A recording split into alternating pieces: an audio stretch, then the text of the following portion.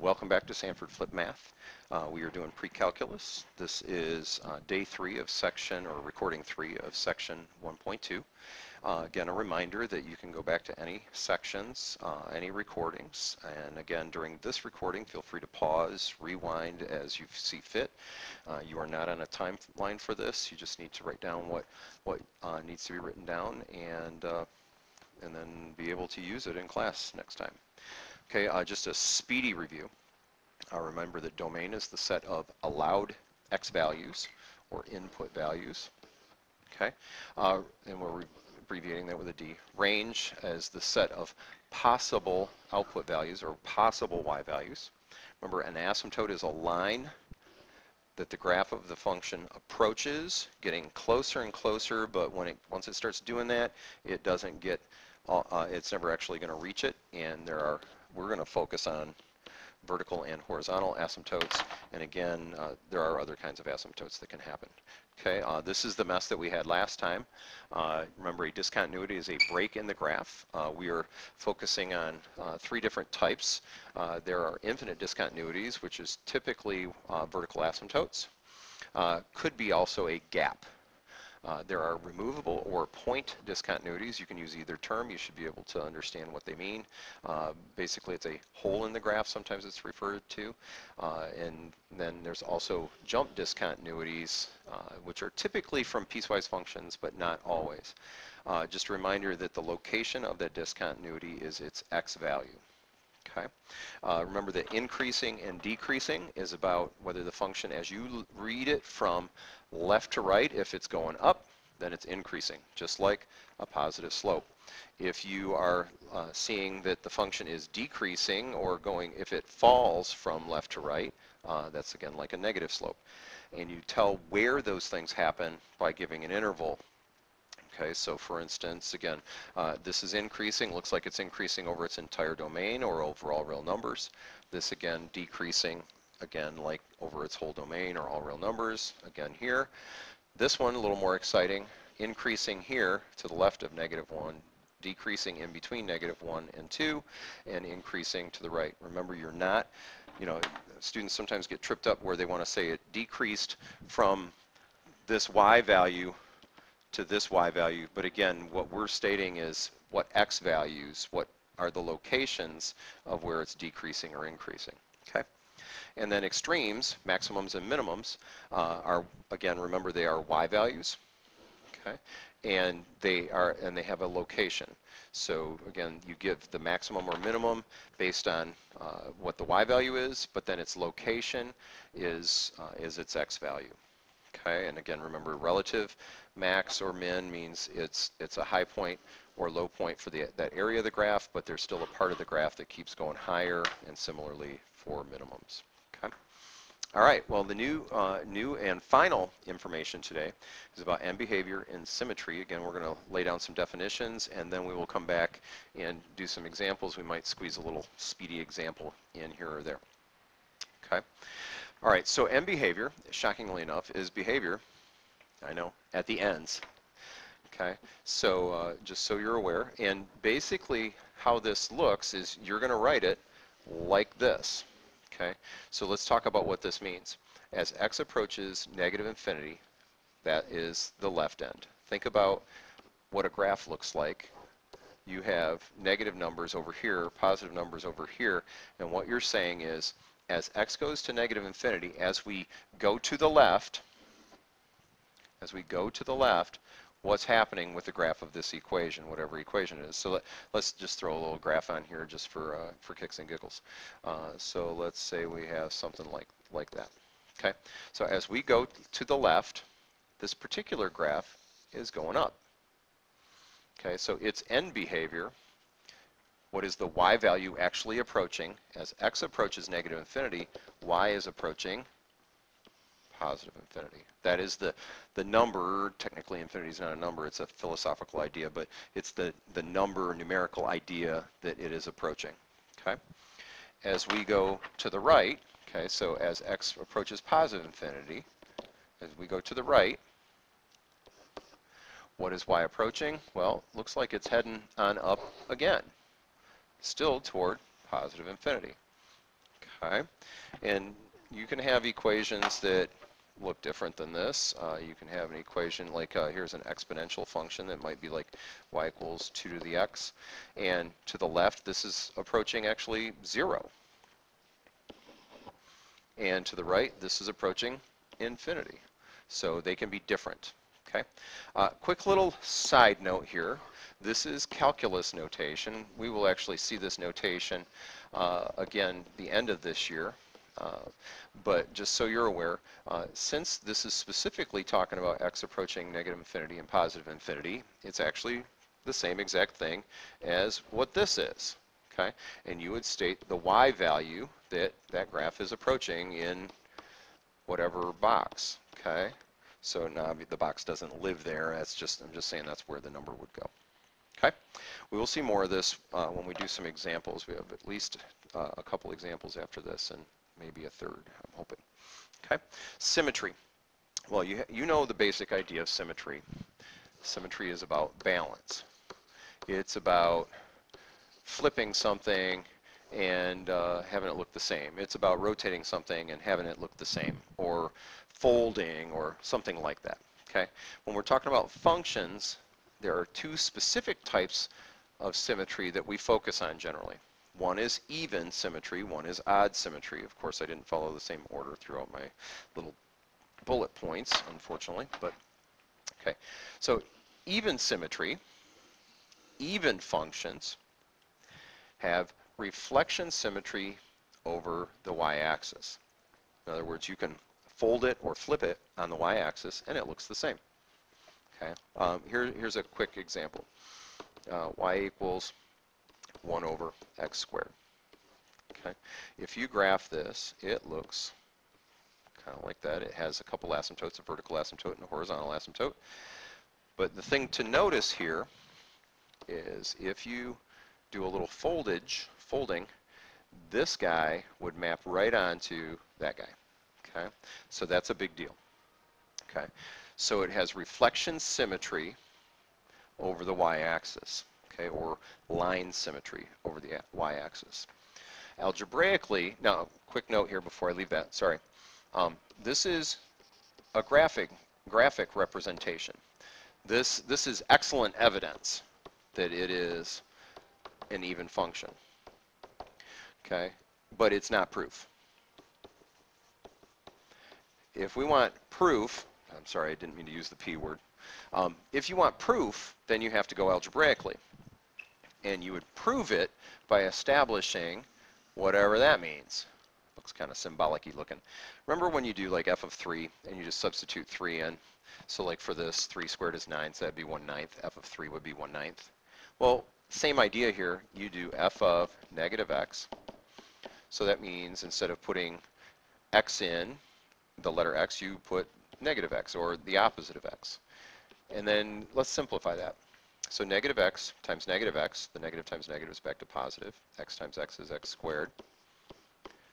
And what you ought to note is this then is the same, well, that's f of x.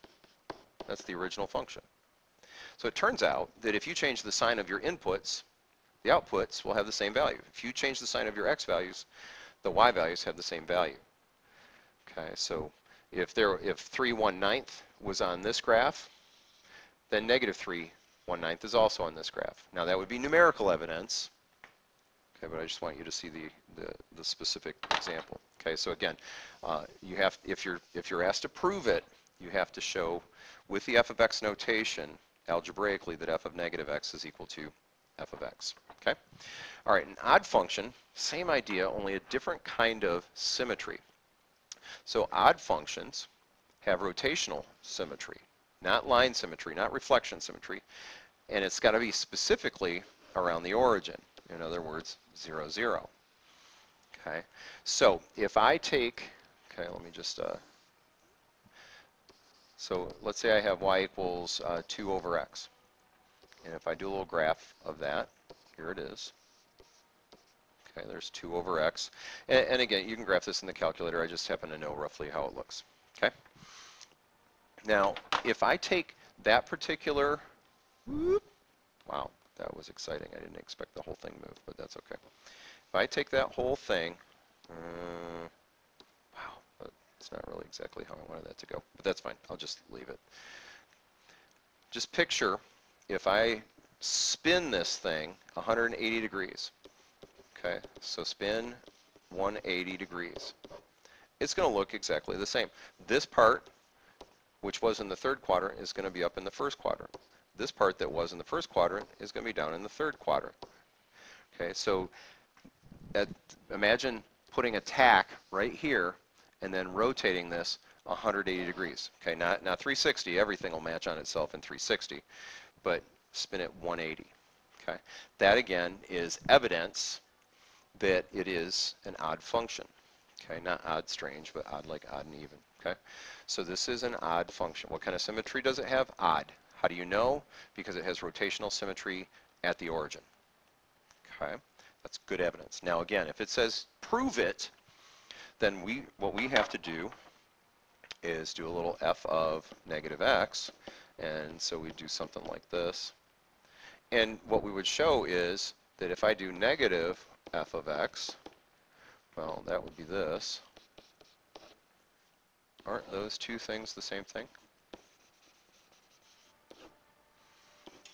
So f, f of negative x, if I change the x value to the opposite, it gives me negative f of x the opposite y value. Okay, so just a, a quick little numerical example. If I put, um, let's say I put 4 in here. Okay, so I know the point 4, and uh, now 2 divided by 4 would be uh, 2 over 4, so 1 half. Okay, well, what if I put negative 4 in? Well, 2 over negative 4 would be negative 1 half. So again, the idea is if I do opposite x, I get opposite y opposite x, opposite y. That's different from even functions because if I, on an even function, if I do opposite x, remember that was a negative x before I erased, okay, I get the same y, okay, and so again, like here I had that point uh, 3 1 ninth, and over here I'd have the point negative 3 1 ninth. Again, same y value even though it ends up being uh, the opposite x value. Okay, and uh, one quick little note here. Not all functions have either of these symmetries. Like for instance, if I have y equals x minus 3 quantity squared, okay, we did x squared minus 3 a minute ago. Well, x minus 3 quantity squared has a vertex over here. So is that symmetric across the y-axis? No, I mean it would have to be matching up to something like that. And is it symmetric if, it, if I rotate it 180 degrees, does it look the same? No, it doesn't. Okay, so this would be neither, or neither if you prefer. Okay, all right, so we've done actually did, done some examples in there. I, I want to do uh, a couple more, and time is going to get away from us, and we'll just get in what we can. Okay, all right, so we did x squared minus three already. So let's do, or yeah, oh no, we did one over x squared, sorry. Um, let, let's do this. x cubed minus x, okay? So what I'm going to do is a little sketch of the graph, and I happen to know that this factors into x times x plus 1 times x minus 1. Because I'm sweet like that. That means my zeros, the x values, that give a y value of 0 are at negative 1, 0, and 1. And remembering what I do about the shape of cubics with positive leading coefficient, it should look something about like these. Okay, so we're going to do end behavior. And again, end behavior always looks like this. x approaches negative infinity, y approaches. And as x approaches positive infinity, y approaches, and all we have to do is fill in the approaches. Okay? So as x approaches negative infinity, as I go to the left, y is approaching negative infinity. That's what it's getting closer to. So you just write negative infinity there, okay? Now you're going to have to remember this setup. x approaches negative infinity, y approaches number. x approaches positive infinity, y approaches number, okay? All right, same song, second verse. As I go to the right, to the right, as I stay on the function here, this thing goes up toward what number? Well, it's going towards infinity. And so there it is, infinity. Okay, quick little note. Do not get this confused with increasing and decreasing. Increasing is about left to right, going up like slope, like positive slope. And where does that happen? Well, on this particular graph, it happened, uh, it, it's actually going up here from uh, negative infinity to negative 1, and also from positive 1 to infinity. Okay, That is not the same thing as having an end behavior going to infinity. Okay, Increasing is about this. End behavior is about what happens at the ends. Okay, two different things. All right, I've hogged up my whole screen, and I still need to talk about symmetry. All right, let me block off a little section here. Okay, so odd, even, or neither. Let me rewrite the equation. Let me give you a little clue here. This is kind of sneaky. Watch this. What's the exponent here? 3. That's odd. What's the exponent here? 1. Because that's x to the 1. Same thing as x to the 1. That's odd. If all of your if all of your exponents are odd, it's probably an odd function. Doesn't matter what the coefficient is here or here. Now, quick little note here. If there is a number over here with, that does not have an x, that would be times x to the 0. And 0 is not odd. 0 is even, actually. Okay, so quick little note there. If it has all odd exponents, it's probably an odd function. And yes, the convert, or I'm sorry, the inverse of that is also true. If it has all even exponents, it's probably an even function. Now there are functions that are that don't have exponents at all, like cosine's an even function, sine's an odd function, tangent's an odd function, and their reciprocals uh, go along with them. Okay, all right, moving on. Okay, so I'm thinking this is odd. Why? Because of the exponents. Now, further evidence, if I, I'm going to do a little mini graph over here so I can do what I wanted to do on the other screen. All right, so mini graph. Oh, get that out of the, I just need that out of the way.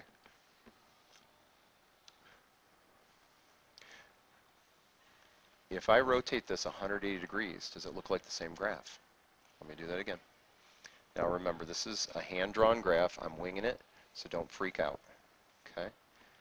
Look like the same graph? It does to me. Okay, so again, this is good evidence. I think it's odd because it has rotational or point symmetry. You can say point symmetry at the origin. Or you can write at 0, 0. That's fine. Again, this is all good evidence. None of this is proof. If So if it says, what kind of symmetry does it have? Odd. How do you know? Because it has rotational symmetry at the origin. That's cool. Now if it says prove, for odd, I'm supposed to show that f of negative x equals negative f of x. Well, let's see if that's true. f of negative x equals, now everywhere I see an x, sorry I wasn't supposed to have that squared there. Somebody at home is going, that squared wasn't there. Sorry, thank you. Um, everywhere I put an x, or everywhere there was an x, I have to put in negative x. Okay, so there it is. Let's simplify it.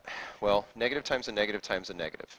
Back to negative, and it's going to be x to the third, minus a negative is going to make this plus.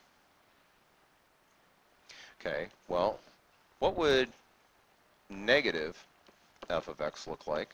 Well, that means do the opposite of f of x. Well, if I distribute that negative now, that is like a negative 1. So negative 1 times x cubed is negative x cubed. Negative 1 times a negative x or a minus x, this becomes plus x. hey, look at that, them bad boys match. Or you could say they're equal. Okay, if that's true, we have just done alge algebraic proof, symbolic proof, that that is an odd function. Okay, so that, that's as bad as it'll get for that. Okay. All right, now we did some little fun, uh, little examples in the middle of things. I'm gonna I'm just gonna do one more quick one. Here it comes. Okay, uh, a little sketch of this. Okay, so end behavior. As x approaches negative infinity, y approaches. Okay, so let's let's deal with that. As x approaches negative infinity, what are the y's doing? Nothing. There isn't anything. Or you could say none. Okay. Do not say zero because it's not approaching zero. There is no graph over here. Okay. There's nothing. Nothing. Okay. All right. On the right side, as x approaches positive infinity, y is going up, y is approaching infinity. That's it for that. Okay. Symmetry. Does this have balance across the y-axis? If I fold on this, does it look exactly the same? No. How about if I spin it 180 degrees? If I, if I take this whole thing and spin this around, it would actually be over here somewhere. And it's not. It's over there. Remember, it's got to spin around the origin.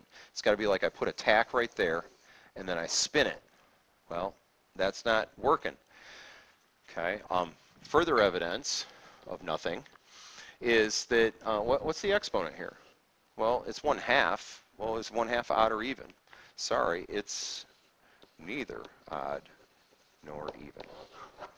All right, I think it's a record, 22 minutes. Woohoo! All right, we'll see you in class. Bye.